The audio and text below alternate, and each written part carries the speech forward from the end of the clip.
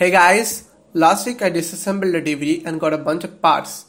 This week I will be continuing the series with 6 life hacks that will simplify your life using those old magnets that we have salvaged. If you don't have the magnet salvaged, you can also buy this magnet at Amazon from the links given below in the description. So let's get started.